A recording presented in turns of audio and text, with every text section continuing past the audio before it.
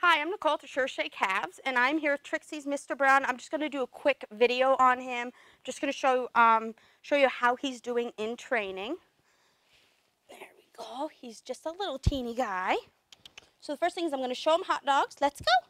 Good boy. Good boy. No jumping. There you go. Now when I walk, he needs to stay on my left side. When I stop walking, he's supposed to auto sit. Good boy. He's still, good boy. He's still getting a lot of lures. There you go. That was better. He's still getting a lot of lures, but as you can see, he actually does understand it. Good boy. Good boy. The biggest thing is that he doesn't walk under my feet. Let's go. It's no auto sit unless I stop walking. Come on. There you go. There you go. Good boy. Good boy. But he does understand the concept. He's not perfect at it yet, but he's still just a teeny little baby. Good boy. Right here. Place. Good. So place is something we tell them place. They get up on the cot, and they're supposed to stay on the cot until we say so. Overall, he actually does quite well. Come on, over this side. There you go. I want him to understand he can walk around on the cot. It's different than stay. Stay, he has to stay in a sit or stay in a down. With place, I tell him place, and he just has to stay on the cot.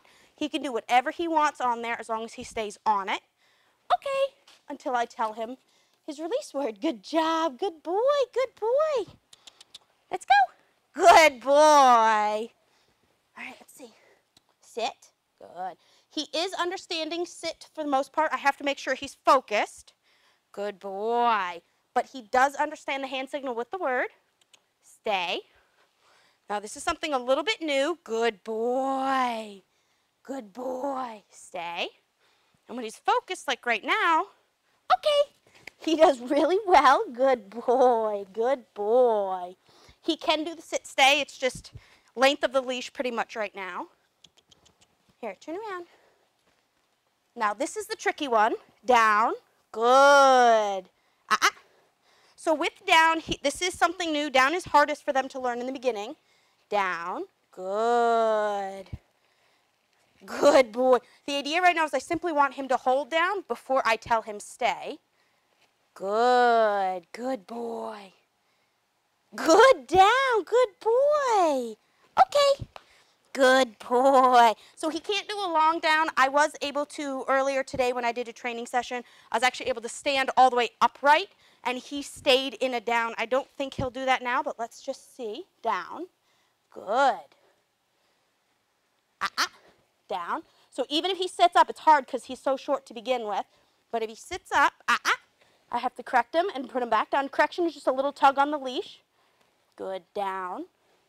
Ah, ah, down. Good, ah, ah. It could be if I'm talking, it could be distracting. Down. Good. Good boy, that's what I want. I want to be able to stand all the way upright. Okay. Good boy, good boy, very good boy. I want to be able to stand all the way upright and even take one step back. Good. Kennel, good boy. So kennel going in, he does go in nicely on his own. Um, I don't have to push him in or pull him in or anything, but he does have to follow that hot dog to go in. He doesn't understand that's what I want him to do yet, but he follows the hot dog nicely. Now, waiting at the door, he's actually fairly good at. Good boy. He's not supposed to leave this kennel until I ask him. Good boy. Okay. Good boy. Good boy. Now, when he gets older, or the older he gets, the further away from the kennel I'll be able to move. Same thing with stay and place and things like that. But as you can see, except for going down um, and going into the kennel where he really needs that lure, with everything else, he actually is starting to understand it, and so he's going to make amazing progress in the next week or two. Yes, you will. And that is a short training video of Trixie's Mr. Brown. Thank you so much.